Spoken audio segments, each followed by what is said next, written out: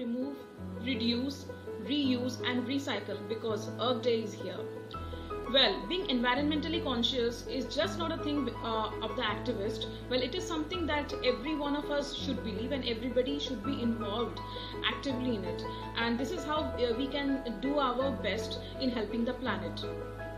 So today is 22nd of April and every year 22nd April is celebrated as Earth Day and it's definitely not a public holiday but people pay respect to Mother Earth in their own ways with outdoor performances, uh, spreading awareness and um, presenting acts of service to Earth.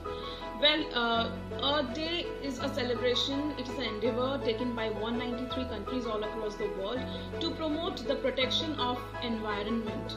And this year, 2020, it is completing 50th anniversary. Its 50th anniversary is completing today, which means that Earth Day started in the year 1970 and has grown significantly.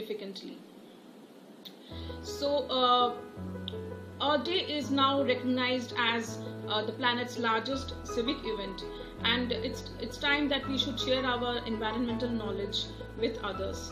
And uh, there are a lot of typical activities uh, which are actually done on Earth Day, like planting trees or um, uh, cleaning surrounding areas or conducting various programs uh, for recycling and conservation and also using recyclable containers when it comes to snacks and lunches.